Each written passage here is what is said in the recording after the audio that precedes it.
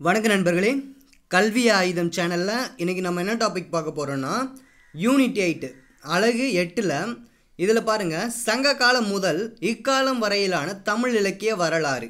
சங்க காலம் முதல் இக்காலம் வரையிலான தமிழ் இலக்கிய வரலாறு அப்படின்றது ஒன்றும் இல்லை. சங்க காலத்திலிருந்து தற்காலம் வரைக்கும் யார் யாரெல்லாம் ஆத்தர்ஸ் இருக்காங்க அவங்க என்னென்னலாம் இலக்கிய பங்களிப்புகள் தந்திருக்காங்க அப்படின்னு சொல்லிட்டு நம்ம பார்க்க போகிறோம் இது அப்படின்னு தனியாக நம்ம பார்க்க போகிறதில்ல செய்யுள் செய்யுள் பகுதியை மட்டும் படித்தா போதும். ஸ்கூல் புக்கில் இருக்க செய்யுள் பகுதியை மட்டும் நம்ம படித்தா போதும். இலக்கணத்தையும் துணைப்பாடம் உரைநடை இதை விட்டுடலாம். ஓகேவா இலக்கிய வரலாறுனா இலக்கியத்தை மட்டும் நம்ம பற்றி படிச்சுக்கலாம். செய்யுள் பகுதி மட்டும். ஓகேவா அதை நான் ஒவ்வொரு ஸ்டாண்டர்டாக தனித்தனியாக இந்த யூனிட் எயிட்டுக்குன்னு தனியாக அப்லோட் பண்ணுறேன் அதை நீங்கள் கண்டினியூஸாக வாட்ச் பண்ணிட்டு வாங்க. இப்போ ஒரு ஜஸ்ட் இன்ட்ரடக்ஷனுக்காக ஒரு கிளாஸ் இது. சங்க காலம் முதல் இக்காலம் வரையிலான தமிழ் இலக்கிய வரலாறு. ஃபர்ஸ்ட்டு சங்க இலக்கியம் அப்படின்னா என்ன அப்படின்னு சொல்லிட்டு பார்த்துக்கணும். சங்க இலக்கியம் அப்படின்னு சொல்லிட்டு பார்த்தா தமிழின் செவ்வியல் தன்மைக்கு சான்றாக சங்க இலக்கியங்கள் திகழ்கின்றன. தமிழின் செவ்வியல் இலக்கிய தன்மைக்கு சான்றாக சங்க இலக்கியங்கள் திகழ்கின்றன. பாட்டும் தொகையுமாக பதினெட்டு நூல்களும் சங்க இலக்கியங்கள் என அறியப்படுகின்றன.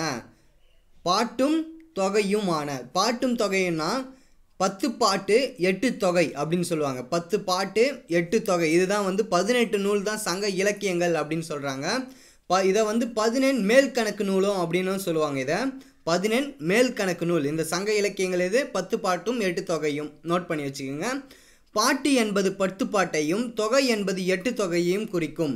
இவற்றை பதினெண் மேற்கணக்கு நூல்கள் அப்படின்னும் சொல்கிறாங்க ஓகேவா என்பர்? ஓகேவா நான் சொன்னது தான் இதை அப்படியே சொல்லிட்டாங்க. அடுத்தது இவை தமிழ் மக்களின் அக மற்றும் புற வாழ்வியல் கூறுகளை அறிய உதவுகின்றன. இவை தமிழ் மக்களின் அக மற்றும் புற வாழ்வியல் புற வாழ்வியல் கூறுகளை அறிய உதவுகின்றன.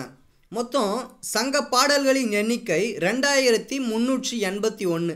சங்க பாடல்களின் எண்ணிக்கை எவ்வளோ? ரெண்டாயிரத்தி முந்நூற்றி எண்பத்தி ஒன்று. ஓகேவா? நோட் பண்ணி வச்சுக்கோங்க. இதில் அகத்திணை பாடல்கள் ஆயிரத்தி எட்நூற்றி அறுபத்தி ரெண்டு. அகத்திணை பாடல்கள் எவ்வளோ ஆயிரத்தி எட்நூற்றி அறுபத்தி ரெண்டு. புறத்திணை பாடல்கள் ஐநூற்றி பத்தொன்பது. அகத்திணை புறத்திணை அப்படின்னு சொல்லிட்டு நம்ம தனியாக பார்ப்போம். ஓகேவா? இதை நோட் பண்ணி வச்சுக்கோங்க. சங்க புலவர்கள் எண்ணிக்கை எத்தனை பேருனா நானூற்று எழுபத்தி மூன்று பேர். சங்க புலவர் எண்ணிக்கை எவ்வளோ நானூற்றி எழுபத்தி மூன்று பேர். பெண்பார் புலவர்களின் எண்ணிக்கை நாற்பத்தி ஒன்பது. பெண்பார் புலவர்களின் எண்ணிக்கை எவ்வளோ நாற்பத்தி ஒன்பது. இவர்களுள் யாதும் ஊரே யாவரும் கேளிர் என்னும் ஒரே பாடலால் உலக புகழ்பெற்ற கணியன் பூங்குன்றனாரிடம் உண்டு. ஓகேவா ஒரே பாடலில் உலக புகழ்பெற்றவர் யார்? கணியன் பூங்குன்றனார். ஓகேவா என்ன எழுதுறாரு? யாதும் ஊரே யாவரும் கேளிர் அப்படின்னு சொல்லிட்டு எழுதுறாரு. இரநூத்தி முப்பத்தைந்து பாடல்களை பாடி முதலிடத்தை பெறும் கபிலரும் உண்டு. அப்போது இரநூத்தி முப்பத்தஞ்சு பாடல் பாடி முதலிடத்தில் யார் இருக்கா? கபிலர் இருக்கார். ஒரே பாடல் பாடினது கணியன் பூங்குன்றனார்.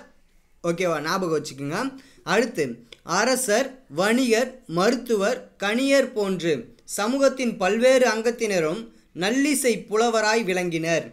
பெண்பார் புலவர்களும் தனி சிறப்பு பெற்றிருந்தனர். இயற்பெயரன்றி பாடலில் இடம்பெற்ற தொடர்களால் பெயர் பெற்ற கவிஞர்களும் உண்டு. சங்ககால புலவர்களை சான்றோர் என சுட்டுவது தமிழ் மரபு. சங்ககால புலவர்களை என்னன்னு சொல்லுவாங்க? சான்றோர் அப்படின்னு சொல்லுவாங்க அப்படின்னு சொல்லியிருக்காங்க. இப்போ நம்ம சங்க இலக்கியத்தை பற்றி பார்க்க போகிறோம் இப்போ இந்த நூலை பற்றி மட்டும் பார்ப்போம். அடுத்த வீடியோவில் வந்து இந்த நூலெல்லாம் யார் யார் எழுதுனா அப்படின்னு சொல்லிட்டு நம்ம பார்க்க போகிறோம் ஓகேவா ஃபஸ்ட்டு எட்டு தொகை. எட்டு தொகையில் மொத்தம் எத்தனை நூல் இருக்கும்? எட்டு நூல் இருக்குமா? அந்த எட்டு நூலை அகநூல் புறநூல் அகமும் புறமும் சேர்ந்த நூல் அப்படின்னு சொல்லிட்டு பிரிச்சிருக்காங்க. ஓகேவா அகநூல் புறம் நூல் அகமும் புறமும் சேர்ந்த நூல். ஓகேவா நச்சினை குறுந்தொகை ஐங்குறு நூறு கலித்தொகை அகநானூறு. ஓகேவா நச்சினை குறுந்தொகை ஐங்குறு நூறு கலித்தொகை அகநானூறு. ஓகேவா இதெல்லாம் அகம் சார்ந்த நூல். அகம் சார்ந்த நூல்.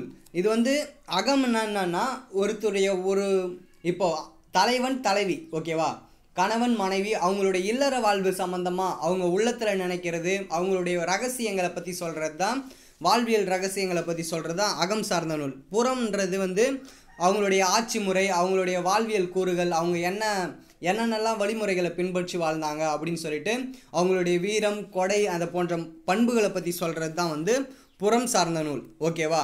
இப்போ அகம் சார்ந்த நூல் பார்த்தாச்சு. இப்போ புறம் சார்ந்த நூல்னால் பதிற்று பத்து புற நானூறு. ஓகேவா? பதிற்று பத்து புறம் நானூறு. ஓகேவா? இது எப்படி ஞாபகம் வச்சுக்கலாம்னா புறம் புறத்துக்கு போனால் பத்து ரூபாய் இருந்தால் போகலாம் ஓகேவா? பத்து ரூபாய் இருந்தால் போகலாம் புறம் நானூறு அப்படின்றதையும் ஞாபகம் வச்சுக்கோங்க. நானூறு பத்து நானூறு. பத்து நானூறு அப்படின்னு ஞாபகம் வச்சுக்கோங்க. ஜஸ்ட்டு ஏதாவது ஷார்ட்கட் போட்டு ஞாபகம் வச்சுக்கோங்க. பத்து நானூறு. இது வந்து பதிற்று பத்து நானூறு. இது ரெண்டுமே வந்து புறம் சார்ந்த நூல்கள். இதுவும் கே கேள்வியாக கேட்டிருக்காங்க. அதனால் நான் சொல்கிறேன் அகம் புறம் சார்ந்த இரண்டு இந்த அகமும் புறமும் சார்ந்த ஒரு நூல் எதுன்னா பரிபாடல். ஓகேவா பரிபாடல் அப்படின்ற ஒரு நூல். இது ஒரு செட்டு. இது பார்த்தாச்சு எட்டு நூல் பார்த்துருக்கோம். இதில் அகமும் புறமும் சார்ந்த நூல் எதுன்னு சொல்லிட்டு அடிக்கடி கொஷினில் கேட்டிருக்காங்க. இதை நோட் பண்ணி வச்சுக்கோங்க. அடுத்து பத்து பாட்டு. பத்து பாட்டில் அகம் சார்ந்த நூல் இருக்குது புறம் சார்ந்த நூல் இருக்குது அகம் சார்ந்த நூல் வந்து குறிஞ்சி பாட்டு முல்லை பாட்டு பட்டினப்பாலை நெடுநல் வாடை ஓகேவா? குறிஞ்சி பாட்டு பட்டினப்பாலை நெடுநல் வாடை. புறம் சார்ந்த நூல் எது எதுன்னு பார்த்தா திருமுருகாற்றுப்படை பொறும் பொருணராற்றுப்படை சிறுபான் ஆற்றுப்படை பெரும்பான் ஆற்றுப்படை மலைப்படுகலாம் அல்லது கூத்தர் ஆற்றுப்படைன்னு இதுக்கு பேர் இருக்குது அப்போ ஆற்றுப்படை நூல் எல்லாமே வந்து புறம் சார்ந்த நூல் ஓகேவா? நான் சொன்னேன் இந்த ஆற்றுப்படை நூல்னால் எல்லாமே வந்து புறம் சார்ந்த நூல் அப்படின்னு சொல்கிறாங்க அதனால் இது ஈஸியாக ஞாபகம் வச்சுக்கலாம். ஆற்றுப்படைன்னு முடிகிறது எல்லாமே புறம் சார்ந்த நூல். ஓகேவா இது வந்து ஜஸ்ட்டு என்னென்ன நூல் வந்து எது எது சொல்லுது அப்படின்னு சொல்லிட்டு நம்ம பார்த்துருக்கோம்.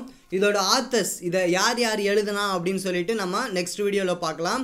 இது ஒரு ஜஸ்ட் இன்ட்ரடக்ஷன் தான்.